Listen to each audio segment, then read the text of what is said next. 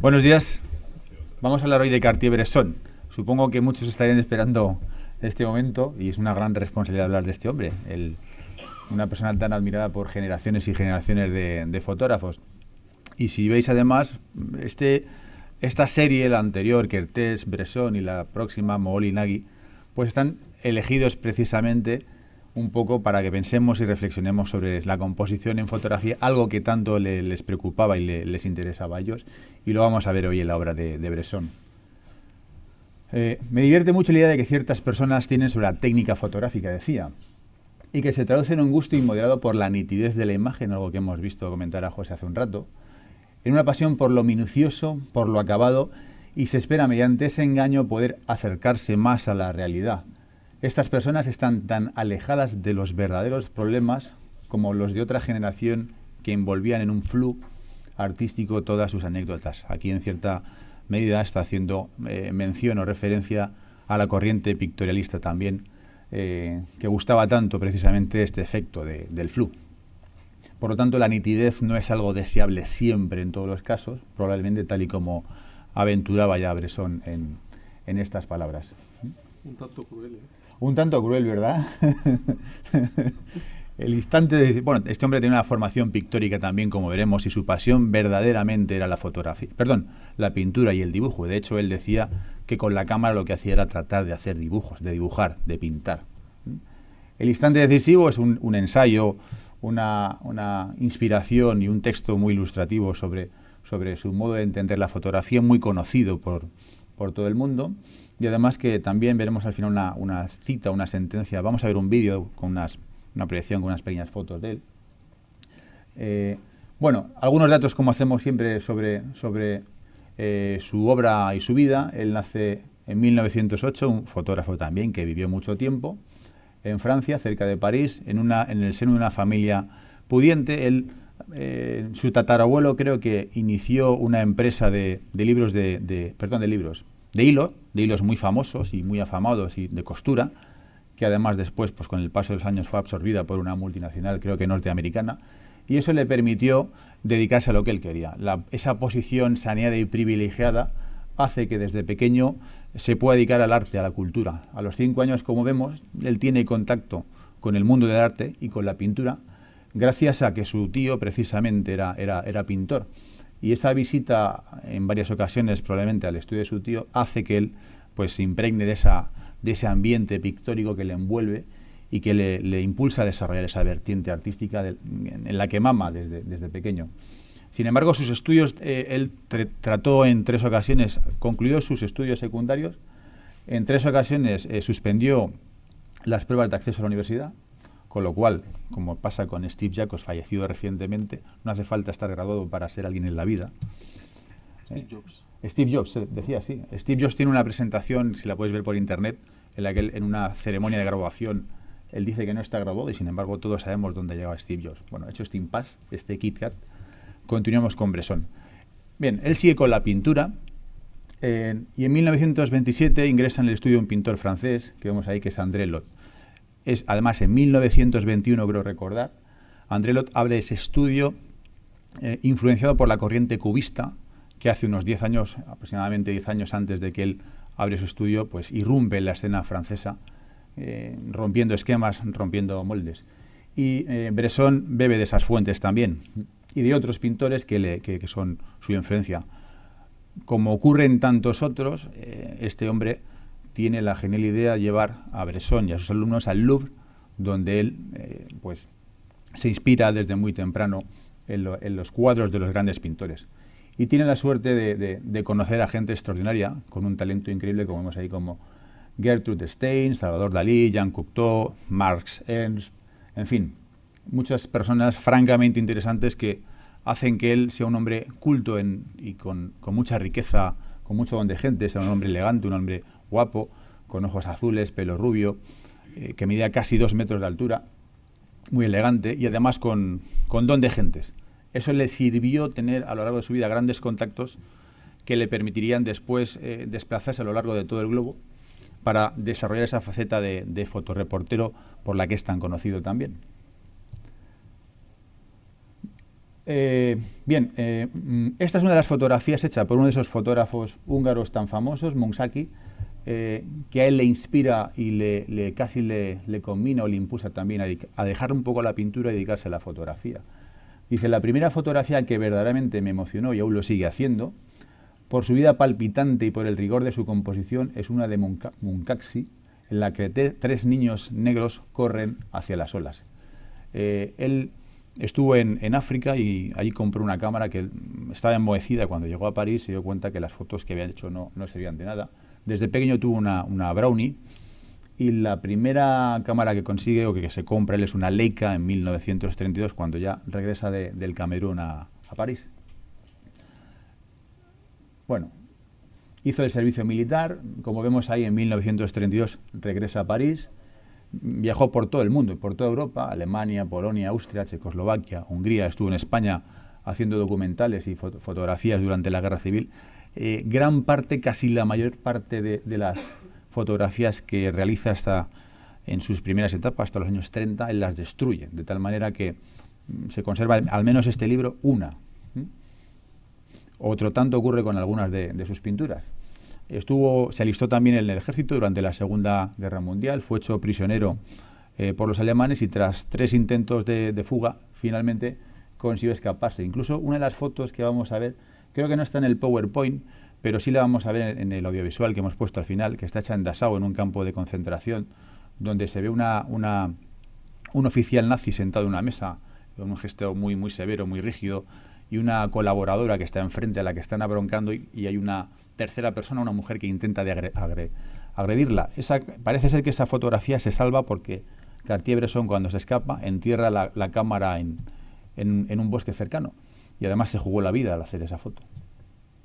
Bien, vuelve a Estados Unidos y junto a en Kappa, en Seymour y George Roger funda la agencia Magnum, una cooperativa que como sabemos eh, trata de hacer reportajes y documentar eh, los acontecimientos a nivel global des- desde sus inicios y Bresson se ocupa esencialmente de Asia. Gran parte de su trabajo se centra precisamente en el sudeste asiático, en China, en la India, en Indonesia. Se casa dos veces a lo largo de su vida, una con precisamente una mujer de origen nacida en, en- Java, creo. Bien, se casa dos veces, la segunda con Martin Frank, otra fotógrafa que es unos 30 años aproximadamente mayor que ella. Él- le gustaba el cine, él viaja a Estados Unidos y con Paul Strand, con el equipo de Paul Strand, aprende a, a hacer documentales. Y aquí le vemos eh, esta foto de la izquierda, es en España, trabajando con, con las brigadas internacionales, en este caso con la brigada Lincoln, con el objetivo de recaudar fondos que permitiesen, una vez concluida la guerra, a parte de las tropas norteamericanas o de estos voluntarios volver a, a- su país con los ingresos, con ese documental que se estrenó en, en los Estados Unidos. Eh, bueno, además cuando vuelve a Inglaterra, perdón, vuelve a Francia, es asistente de Joan Renoir y, y- y realiza dos películas. en- in- incluso intentó trabajar con, parece ser, con Luis Buñuel en México, pero vamos, finalmente, pues parece que, que le rechazó. Eh, bien, trabajó para muchas revistas, Life, Sesuar, Paris Match, eh, Harper's Bazaar, los grandes magazines fotográficos de la época cuentan con reportajes de, de Bresson. Fue el primer fotógrafo que mm, realiza eh, un reportaje en la Unión Soviética tras la muerte de Stalin. De hecho, si recordáis, hay una imagen que es icónica, donde está creo que es en la Plaza Roja y se ve a unos paseantes en primer plano y un cartel gigante de Stalin al fondo, enorme, que sobresale por encima de un edificio. Fue además el primer fotógrafo que expuso en el Louvre en 1955. Aquí parece que las cosas empezaban a cambiar. En los años 60 se estableció en la India, donde estuvo tres años. Años antes ya había fotografiado las exequias y con, con motivo de la muerte de, de Gandhi. Curiosamente, si recordáis en la sesión de Margaret Burke White, hablamos también de esa foto tan, tan mm, icónica, tan recordada, donde está Gandhi meditando en primer plano y se ve la rueca hilando, o la rueca que utilizaba detrás al fondo. Eh, ella utilizó flash, él no utilizaba flash, consideraba además que el flash era de mala educación. De hecho, parece ser, este libro cuenta una anécdota al respecto, que cuando muere Gandhi, Margaret Burke realiza una foto con flash y le sacan, como digo, tarjeta roja y la sacan del, escenario. Y este, como no utilizó el flash, le, dejaron seguir haciendo fotografías. Bueno, en la década de los 70 abandona la fotografía y se centra otra vez en el dibujo. Otra vez vuelve a, fotografiar, perdón, a, sus orígenes, a hacer pintura y dibujos, y en el 2004 muere con 95 años en, Francia.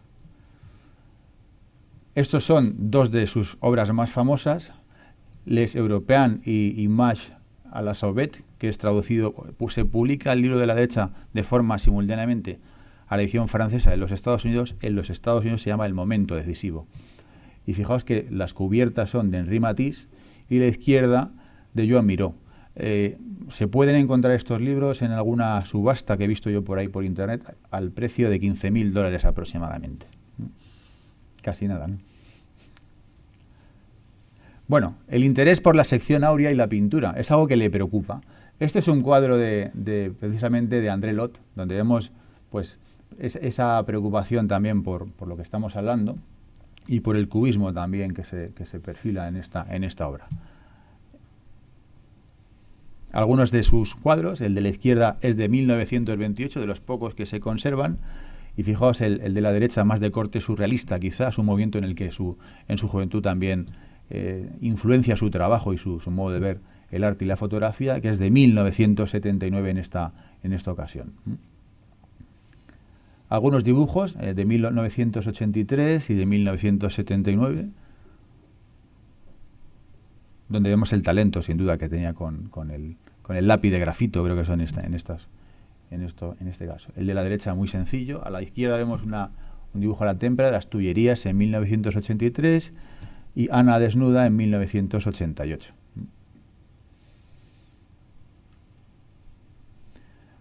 Bueno, él decía, para verdaderamente creer en el dominio de la fotografía en color, y con, esto es muy interesante con respecto al color, casi toda, no toda, casi toda, de, probablemente el 90% de su producción es en blanco y negro, pero para creer en el dominio de la fotografía en color hay que transformarlo, modularlo, para encontrar así la libertad de expresarse dentro del marco de las grandes leyes que han sido decodificadas por los impresionistas y que tampoco el fotógrafo puede evitar, ley de contraste simultáneo, todo el color tiende a colorear el color complementario del espacio vecino. Si dos tonos contienen un color común, este se atenúa a causa de una ley de yuxtaposición. Dos complementarios yuxtapuestos se exaltan, mezclados se anulan. Fijaos lo importante que era el estudio y la profundidad, algo que tenían aprendido e interiorizado los pintores en la fotografía, nos da una idea de la complejidad más aún en aquel momento cuando la perfección desde el punto de vista técnico de la impresión y del revelado, sobre todo del positivado de las fotografías en color, no alcanzaba los niveles que se, con los que gozamos hoy en día. ¿no? Por eso eh, probablemente él se dedica al blanco y negro. José, este José una pregunta del chat. Eh, Lorenzo Flores pregunta si todos estos artistas serían igual de importantes en estos tiempos no ya por el mérito que tenían con los medios que habían en la época, sino por las, por las pocas personas que podían acceder a la fotografía en aquellos tiempos? Pues muy buena pregunta. Desde luego, efectivamente, yo considero que es un privilegiado desde pequeño. Desde los cinco años él puede dedicarse a lo que le gusta y además eh, disfruta de la oportunidad de, que gente verdaderamente con talento también y muy importante en el seno de otras artes, de la literatura, de la, de la escultura seguramente, de la pintura, desde pequeño él está en, ese seno y aprende grandes cosas. Lo tiene todo a su favor. Eh, si no hubiese sido así, pues yo no sé cuál hubiera sido el resultado. A mí me gusta compararlo muchas veces con, con Chambi, que es un fotógrafo del que hemos hablado también y que hizo fotos extraordinarias con, con la mitad de... Bueno, la mitad, ¿no? Con posibilidades infinitamente menores. Vale, entonces para terminar, pues no sé si algunos de estos grandes fotógrafos de lo largo de la historia hoy hubieran sido lo mismo o si hubiera valorado sus obras del mismo modo. O quizás, con respecto a algunos, la respuesta es que sí, que seguramente no estarían igual de valorados. De hecho, no voy a decir quiénes, pero porque creo que es de mal gusto y no, no soy yo quien debe hacerlo o decirlo. Algunos de los fotógrafos y algunas de las fotografías que hemos visto a lo largo de estas sesiones y de los que yo he hablado me convencen menos. Alguno o alguno me convence muy poco pero eso lo dejo ahí en el aire. Bien, volvemos un poco a la inspiración eh, de, de. Este cuadro que es de Piero de la Francesca de 1469, y aquí podemos ver ese, esa dualidad, esa relación o esa interrelación entre el interés por la pintura y, la sección o la proporción áurea que vemos en este, en este cuadro de 1461. Este pintor se interesaba mucho y es conocido por los estudios de la perspectiva y por la aplicación de la divina proporción, del número de oro, de la sección de la fotografía. De tal forma que aquí lo vemos. Este cuadro, si trazamos una vertical por donde está la columna, que podemos trazar un eje, vemos esa relación entre la razón, razón media y extrema que hemos conocido, y vemos esta figura o este, este grupo de personas en el primer plano que hablan entre ellos al margen de lo que ocurre al fondo, con un gesto muy severo, muy serio, como si no les importase. Y esa línea, además, que fijaos por el suelo, que pasa por la columna, nos lleva hasta la, perdón, efectivamente hasta la columna, y nos lleva hasta el fondo, el tamaño, además, la escala de los personajes, hace que parece, da la impresión que incluso ha querido poner de manifiesto el menor interés por parte de esos, eh, o menospreciando de alguna manera al sujeto que se encuentra al fondo, que es Jesucristo que está siendo flagelado. Bueno, pues eso, esta composición, esta secuencia que vemos, se repite en la obra de Bresson y lo podemos ver. Fijaos en cuando observéis a partir de alguna de sus, de sus fotografías, porque como es un, es un encuadre muy, muy típico y muy repetido. Y algunas vamos a ver. A mí me llama mucho la atención la, marginación de elementos también. Si fijáis en las figuras, ocupan espacios muy, muy, muy próximos al margen. Un poco lo que hemos estado hablando de llenar el encuadre no permitir obtener imágenes dentro de ese encuadre. Pues aquí vamos a ver algo al respecto. El pintor André Lot, con el que estudié en su academia, me decía, pequeño surrealista, que hermosos colores. De allí proviene mi gusto por la forma, la composición y la geometría en la fotografía. No sé contar, pero sé dónde cae la sección áurea. Todo esto se hace sin premeditación, como algo integrado hasta de un reflejo. De hecho, él dice también que espera que nunca las cámaras fotográficas que se distribuyan o vendan por los comerciantes en el futuro incorporen eh, esquemas. Se lo comentaba el, rejillas. que es precisamente lo que tienen nuestras cámaras. Entonces, justo su deseo no se ha visto cumplido, nos facilita el trabajo, pero mm, no sé si nos lo facilita, nos facilita quizás el, el hacernos ser más cómodos. Perdonad un momentito. Y esta fotografía, bueno, veréis aquí algunas, algunas de estas circulan por, por internet donde, bueno, vemos como sí que efectivamente se respetan de alguna manera o, se manifiesta ese interés por, por guardar eh, ciertas armonías que de forma casi instantánea él percibe o busca y traslada la fotografía en relación a la, a la sección áurea de la que estamos hablando. Bueno, a mí me gusta, a mí me gusta fijarme en estos detalles.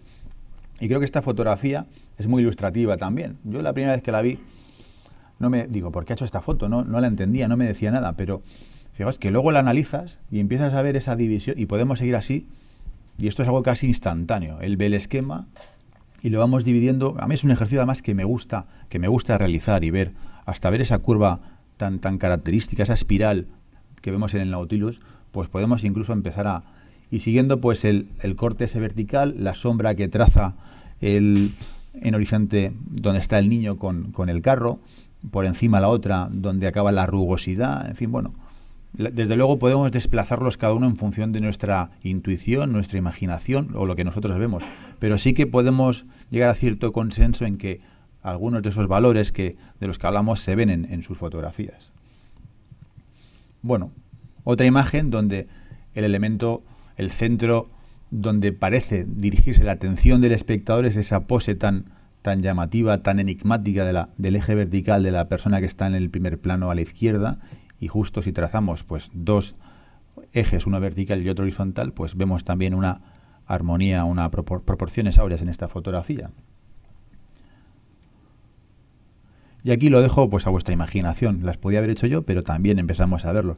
Con la particularidad que en el, en el cuadro inferior de la derecha, fijaos en qué curioso, en los zapatos, cómo han sido dispuestos de tal forma que los tacones eh, forman un corazón en el centro. Y eso está hecho por el fotógrafo. Y además, pasa para atrás, un momentito.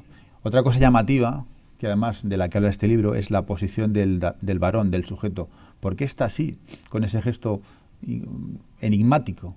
Pues ahora pensar un poco en, en los faraones, y en esa pose que tenían con el cetro cruzado así, en, la máscara de Tutankamón, y efectivamente está clavado. Bueno, otras imágenes eh, también muy conocidas y muy recordadas de Bresson, donde vemos también ese, ese, interés por ese estudio de la geometría y de las proporciones áureas. Y ahora a continuación pues vamos a ver una, una, selección de fotografías, empezando por esta tan famosa del, del, salto sobre el charco de la estación de San Lázaro, muy cerca de donde él vivía en París, en 1932. La araña del amor, esta foto está hecha en, México en 1934. Él decía eh, que no le gustaba hacer, bueno, consideraba impúdico hacer fotos de desnudo y en las y decía que no hice fotos de desnudo. Sin embargo, sí que hay algunas fotos de desnudo, pero en cualquier caso no son posados y buscados y queridos por él. Y nunca muestra el rostro de, las, de las personas a las que retrata. Eh, esta foto además está hecha sin, sin, sin flash, aprovechando una iluminación artificial, una lámpara que un ayudante introdujo en la escena. Y bueno, son dos lesbianas en, en, en 1934 y bueno, hizo una fotografía concretamente, en este caso. Leonor Fini de 1933. De esta mujer yo he visto tres fotografías. Esto está hecho en Italia. En, son fotografías, la verdad es que para no gustarle el desnudo, desde luego con una, alta carga erótica, ambas fotografías. En Alicante, en 1932, estuvo aquí, supongo que esto para algunos era un descubrimiento. A mí, desde luego, me hubiera gustado saber, no sé dónde están hechas estas fotos. Yo me imagino, pues, por la época, pues imagino que en el casco antiguo de Alicante, ¿no? En algunos de los locales que se dedicaban, pues, al alterne en, el barrio, ¿no?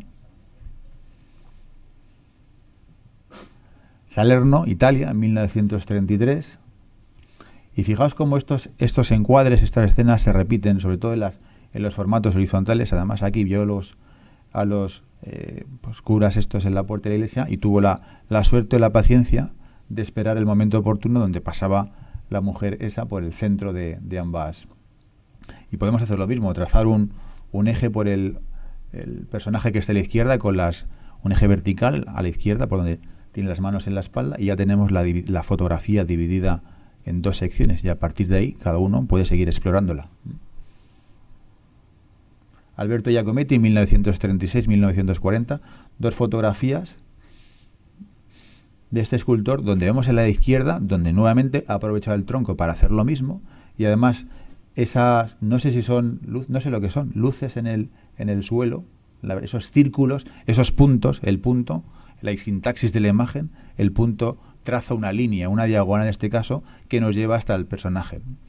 Unido al momento, a las condiciones climáticas adversas, es decir, rodea o completa la, fotografía además. Y la de la derecha, donde el escultor, el autor, se convierte a sí mismo en una de sus propias obras.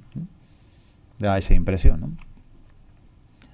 La Vía del Áquila en Italia, en 1951, una fotografía pues que yo creo que es ciertamente compleja, donde hay muchos elementos, muchos elementos, y conseguir dar que el todo resulte eh, convincente, comprensible, pues desde luego no es difícil. Perdón, es difícil, yo lo entiendo así. ¿eh? Aquí podríamos incluso ver, hay muchas fotografías dentro de esta fotografía, esa profusión de línea curva, recta y de personajes que empiezan desde el ángulo inferior, en la esquina, donde está el perrito, nos llevan hasta la puerta de la iglesia, podemos continuar ayudados o reforzados por las barandillas hasta los personajes del fondo. Como vemos, lo tiene, tiene presencia, tiene personas, hay un momento, hay profundidad, hay perspectiva. Torcello, cerca de Venecia, en 1953. Otra fotografía donde está, aquí se unen diversos factores, el instante, el capta, algo que pasa en un momento y que consigue inmortalizar. La luna a la izquierda, la barca en la que seguramente él pues está disfrutando de un paseo por el río y ese momento en el que pasa la persona y aprieta el disparador. Si vemos además la secuencia de contactos de las fotografías de, Bresson, él hacía una, hacía dos, tres, una secuencia de cuatro fotografías hasta que conseguía la fotografía que él pensaba, pero con la particularidad de que nosotros, un poco respondiendo a la pregunta que hacían antes, nosotros en nuestro visor vemos el resultado y lo hacemos otra vez y otra vez. Él lo hace tres veces y a lo mejor mandaba los bueno, a lo mejor no, mandaba los carretes a revelar y no veía las fotografías hasta, hasta meses, incluso medio año después. Pero seguro que una de las tres era la que él había visto en la mente. Y aquí eh, lo podemos ver en este libro, hay series de, contactos. Él en una, en una entrevista con John Sarkowski, que es un, eh, fue director del Museo de, del MoMA y escribe un ensayo que se llama también El Ojo o un libro que se llama El Ojo del Fotógrafo, que ahora ha editado aquí en España la, editorial La Fábrica. le pide que le enseñe los contactos. Eh, Bresson decía además que el contacto, que la tira de contactos, revelaba eh, la sapiencia del fotógrafo. Cuando tú ves los contactos y ves la serie, ves lo que ha hecho el fotógrafo y ves cómo ha ido, ves si ha ido buscando algo o ves si es todo fruto del azar o va dando vueltas de un sitio para otro. Le enseña una tira de contactos a, a y él la estudia, la analiza. Insatisfecho, Bresson parece ser que se da cuenta y le dice, ¿quieres ver otra? Y se mete en el estudio al cabo de casi 20 minutos vuelve con otra más. Pero le enseñó dos tiras de contactos. Es decir, era muy celoso guardador de esas tiras de contacto. Y bueno, pues en este libro hay algunas tiras de contacto donde podemos ver ese estudio precisamente, o quizás esa capacidad de en dos o tres fotos irse con el trabajo hecho a casa. Sin recortes, porque además él odiaba el recorte, no hacía recortes en sus fotografías. Bueno, pasamos a la siguiente. Las piernas de Martín. Este es Martin Frack en 1967 y es una fotografía que a mí me gusta mucho. Esta es una mujer leyendo en un momento y donde, pues con esa diagonal y con esas piernas tan esbeltas, yo creo que desde el punto de vista de la belleza, de la singularidad, de la feminidad de una mujer, pocas veces con una foto se ha conseguido transmitir tanto. Y además, siendo una foto respetuosa, no, enseña poco, lo suficiente, es sugerente y además con ese libro, pues que hace que incluso puede simbolizar más cosas. ¿eh? La mujer no es solo belleza, en, momentos donde quizás eh, recientemente se han conseguido eh, luchas y conquistas por los derechos civiles y sociales de la mujer. Recordemos que no hace mucho, pues no se les permitía votar en muchos países occidentales.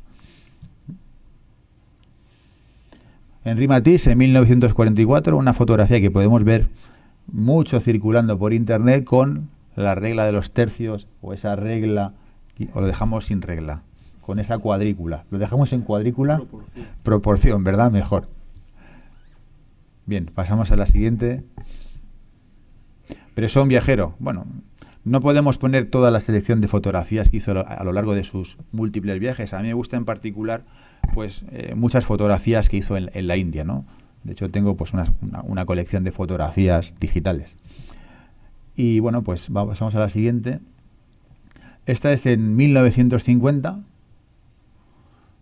Una foto que a mí, pues particularmente me dice cosas y me gusta. Es decir, la, el, niño, sí, es, un niño desvalido, un niño, desde luego, famélico, eh, casi moribundo, eso es evidente. Pero con la analogía y la metáfora que se establece con la rueda, la rueda de, que está detrás, la rueda da vueltas, la rueda de la vida, ¿no? Entonces, bueno, ese, ese mensaje a mí me hace pensar, me hace reflexionar esta, esta fotografía, que podemos ver algunas otras fotos más recientes. A mí, pues me lleva a pensar a una que tiene Salgado también con un minero en los pozos de Kuwait, ¿no? Algo parecido, ¿no? En cuanto al mensaje, quiero decir. Bueno, otras escenas en formato vertical, en, con más elementos o con menos en la derecha tiene más elementos, obviamente, y figuras que se desplazan en un plano horizontal en el primer plano y una diagonal que forman las líneas de campaña, con un, enjambre de personas allí viviendo o tratando de sobrevivir. Estas son escenas de, la muerte de Gandhi, ¿eh? la pira funeraria y el, el magma casi podría decir, incluso de personas que están ahí con ese árbol que sobresale. Además las he puesto, si os dais cuenta, están estratégicamente posicionadas. La de la izquierda mirando hacia la, pira de la derecha, ¿no? Con ese tronco que parece que, dirige. Incluso, bueno, esta, esta composición está un poquito pensada, ¿no?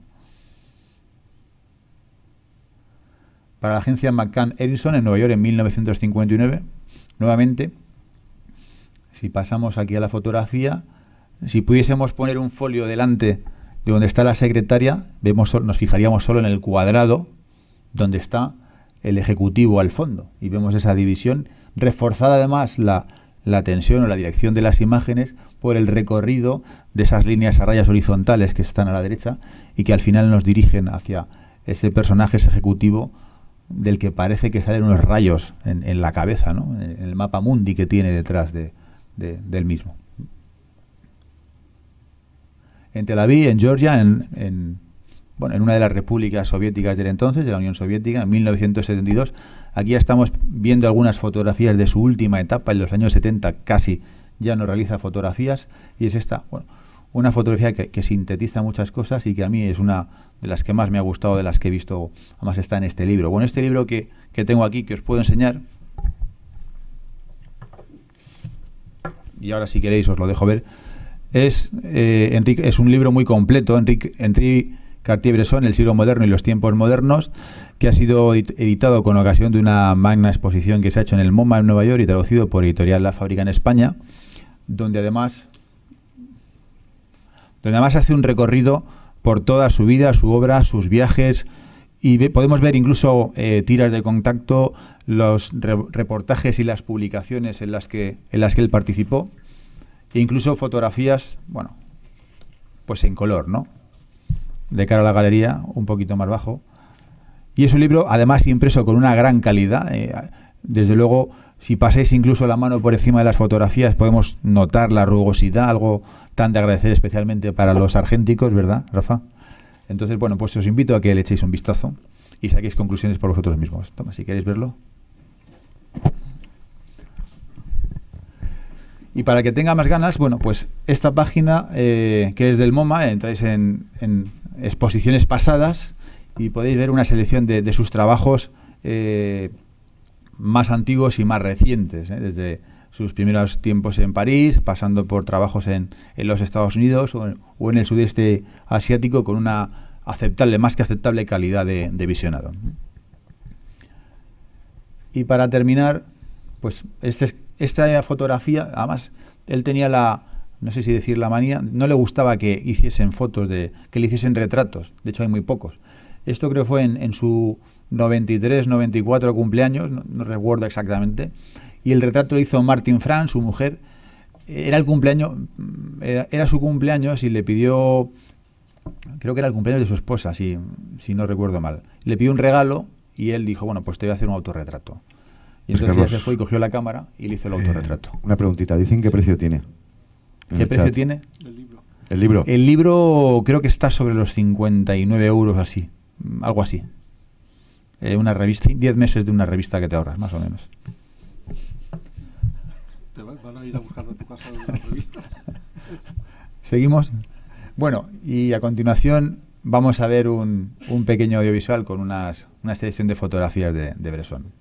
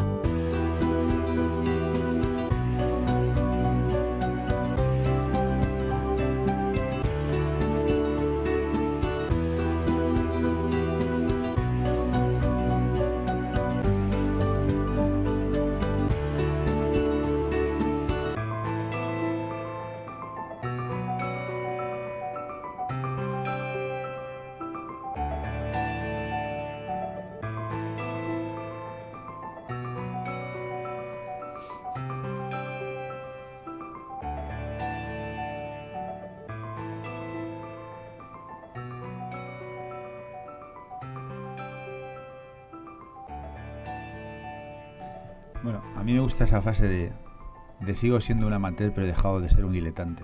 Entonces, de hecho, bueno, eh, hay un pequeño guiño en mi propia web al respecto y es algo que por lo menos a mí me hizo hacer una reflexión, ¿no? Lo del estado de, diletante, ¿no? El saber los límites y mm, tu sabiduría o tu ignorancia, mejor en, en este caso, ¿no? Bueno, pues con esto hemos acabado por ahí. Muchas gracias.